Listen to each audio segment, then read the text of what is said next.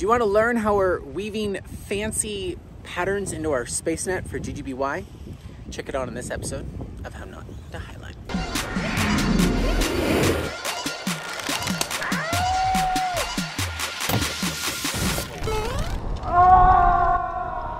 Hi, I'm Charlie from Charlie's Webs, and I'm going to show you how to weave a pattern into your net. Okay. So what do you got going on here? Um, you basically, this this string is straight. Here, watch out real quick so I can Yeah. see on the other side. So you just made this knot super tight from there to here. And then you're just sucking it in to this part. Uh-huh. Basically, we're doing a bunch of different patterns here, but all in the form of stripes. So we're starting on one side and then sucking a bunch of stripes in. Basically, to make a stripe, you put one line across wherever you left off, and then you go back and forth and weave it to the next one. Okay. And you tighten this line up against it. So this this line gets really tight. So as you're weaving, Let me see you weave it. as you're weaving, you go.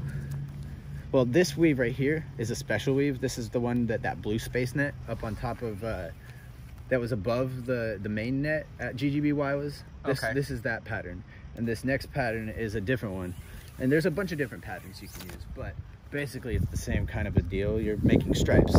This one, I'm going to go back and forth with this blue. Why do you add this twist right here? That's just style. I- Okay. I'm keeping the twists on this side and not keeping them on this one to keep this one consistent to this pattern. Okay. But when I'm done with this one, this one's gonna be a diff, a new pattern I haven't done before, where it goes. uh, First, I'm doing this, then Okay. I'm gonna take a different color and go back and forth right next to it. So attaching to the next one, and then here, then the next one, and then here. And so as I go, I'll add more and more colors, and it'll create this cool zigzag that goes back and forth. Sometimes you get knots. Knots are not fun. How not to highline. one, two, three, four.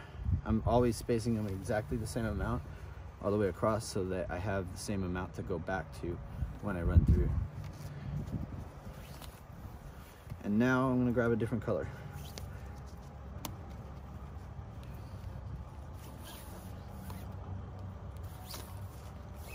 Just lock that off, that's it? Yep. Okay.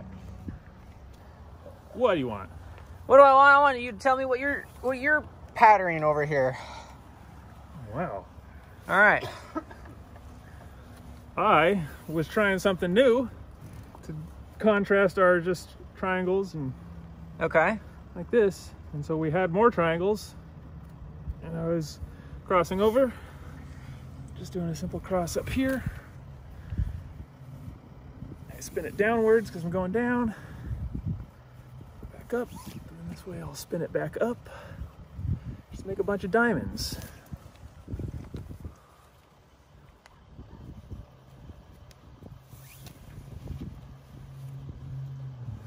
Huh. Pretty fancy. So just do anything and do it consistently throughout the th- Yeah. Kind of. kinda. Having a vision and then sticking to it. It's, if you kind of follow any basic idea and just start weaving it, you'll figure it out really fast and you'll, have, you'll start coming up with your own patterns. So I'm coming in with the second layer of rope in here. So you start, you can start to see the zigzag that goes Mm. through here. So I can read, so sexy. This one right here, there's this cool way that this pattern works where you lay down these these are the stripe ropes, the first ropes that we lay down. That was the first stripe. And you basically just go around like this. okay. And you don't have to do any knots. And then when you do the next one, you go around with that same um, direction. And it almost looks like there's no knot there and you can't even tell which direction any of the ropes are going. It makes these perfect little triangles. But anyway, I'm ready, going through with this rope. When I'm done with this, I'm gonna go through with a bright rope on all the empty spaces. And the same rule applies whenever you cross over one strand, you always Yes. and wrap whenever it. this you is- never this- break that rule, ever. This is a rule that goes with like chaos patterns, everything. If you want a really nice clean net, you always wrap your you wrap your ropes with the grain. You don't you don't wrap like this. That ends up making a little knot thing that kind of like does that while the net moves and that Okay. can create a weak spot. Okay. So you always want the candy cane. The candy cane. You, you gotta gotta get the candy cane effect.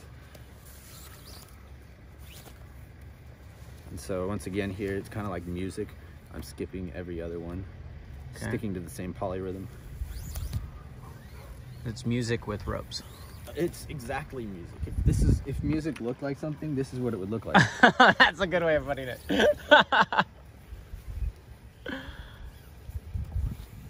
well, that helps me understand music better. yeah. it's look. Oh, well, look at you. and one thing you always want to do is you want to rig this in the park in the shape that you're going to have it.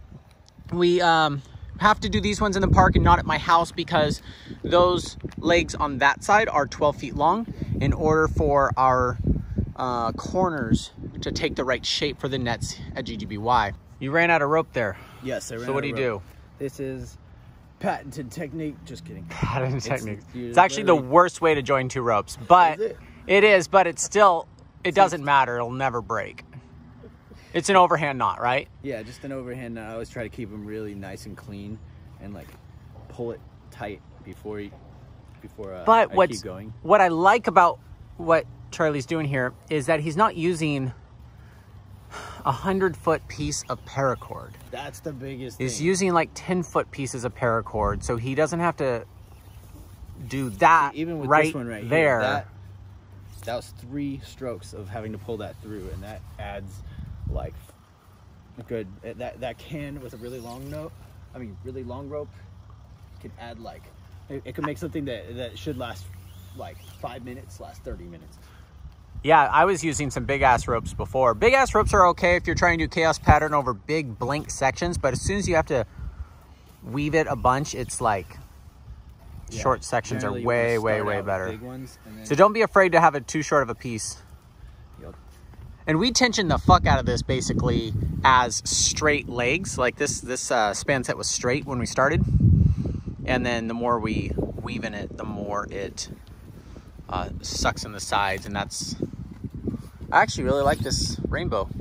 So. It's gonna look really cool. And like when they fill this in, they can um, go this way under and over. And by pulling it that way and pulling it that way, it creates, let's see here. I guess it Much like this. very much like this. it holds the stripes in place and kind of creates a little extra tension. Yeah, it stabilizes it a lot. So, um, this looks more like the chain link method here. Kind of, yeah.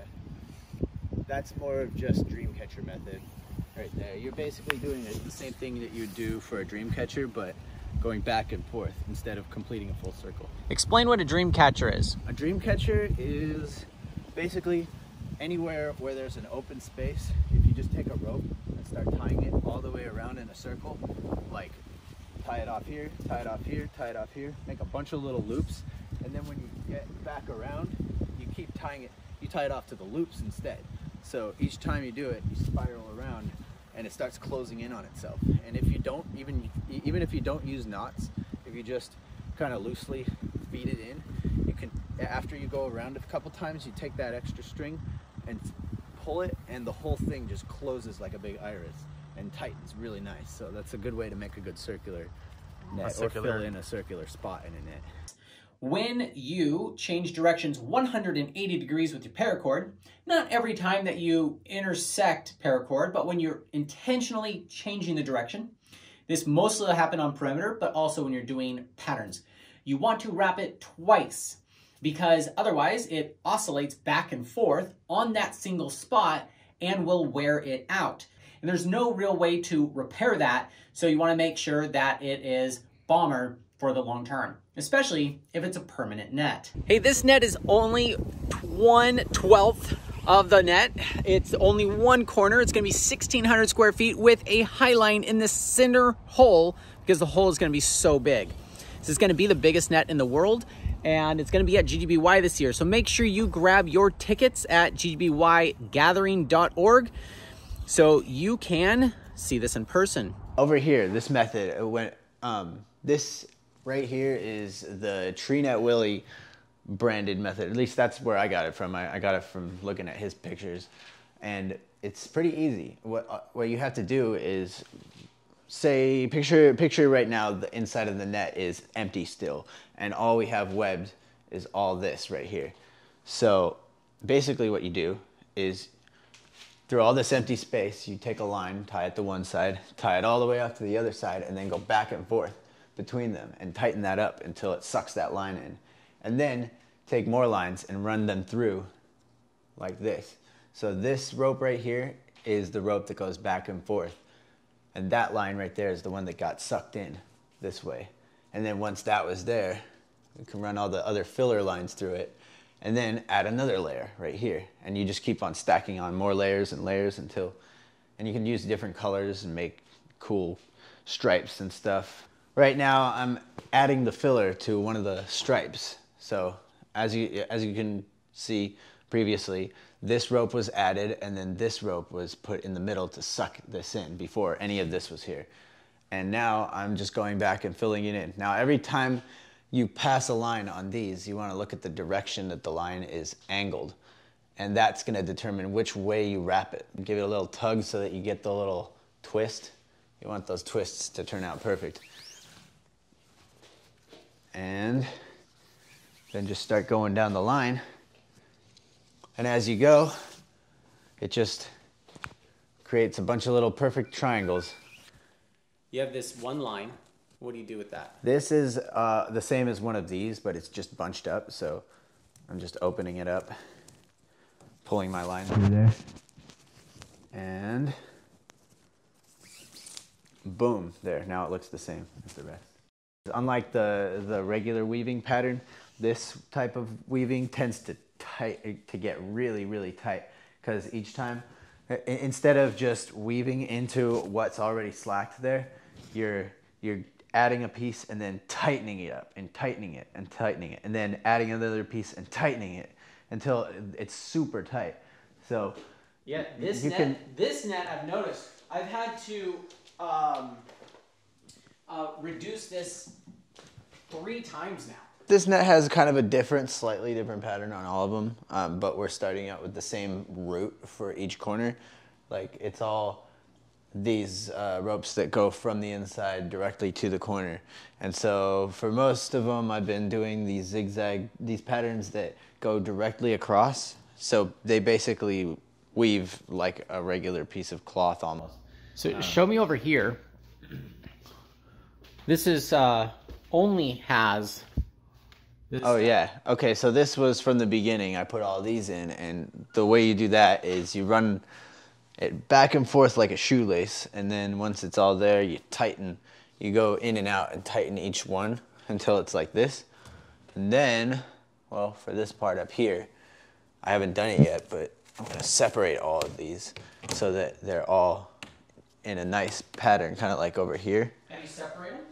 Um, you take a you start uh, thickening this line right here by taking a line, run it through there, run it over to the rope that you have and then pull it back and it pulls the whole rope up to the part that you want it and then you tie a knot and then move on to the next one, pull it, pull it, you know, until you get to the end and they're all in a perfect array. So this one here, the I took that design and decided to do squiggles going back and forth. So that's the theme of this one. and then over here, I'm doing. So you showed me something. You said you start with a straight line here and you don't start here. And why? Well, when we first started, I started doing the, the squiggles this way. Okay. And, and that's cool when it's close in because it's hugging this. But then as you go out, I realized that as soon as this gets any, it, it, as soon as it gets loose, all that tension goes away, this is all going to be slack, and there's nothing that's holding that rope out. So it's going to fall and get all saggy and end up resting down here somewhere. So, so you add a couple straight lines like you have right here, and then, um, and then what's what's your next step? Weave a little right what you're doing. Okay, this part I've basically I started over here with this rope, and I'm going back and forth on this one, back and forth on this one, back and forth on this one, kind of just making my way okay. zigzagging it down each one. And then when that's done, I'm probably gonna run lines back through this to add redundancy. but this is a kind of a a modified version of another method. And I've run out of line here. I'm gonna tie my line off really quick. Just A cool picture. Perfect. just like that. And go cut Is that myself. just a temporary one? Yeah, that's just to hold it there. And then I cut a piece that's, this is another thing. If you have a really long line, every single knot you tie is gonna take like 30 seconds. That ends up making people spend four days on a net. If you use a short piece, when it's really short, you can go just like get a bunch of knots out really quick. Yeah, but if it's like 10 meters long, you're pulling it through for days. Oh yeah, and people uh, like I even realized it. I, I I was doing that with like a, an entire rope span without cutting it at all for a long time before I realized why am I doing this? So basically, just do something and repeat it over and over. Kind of. I mean, that's pretty. There's a That's how you a thousand different ways that you can you can do it. Find something that works and repeat it. I attached it to that so that it holds this whole piece of rope up that way. Okay. Now, I also want to point out that this right here, this is an is a rope that is connected here and here, but not to anything over here. So, and all these ropes here are pulling down that way. Okay. So it just means that I'm gonna have to attach something to this side of the rope that pulls it back and counteracts that when I'm done. I think I'm starting to understand how the patterns go.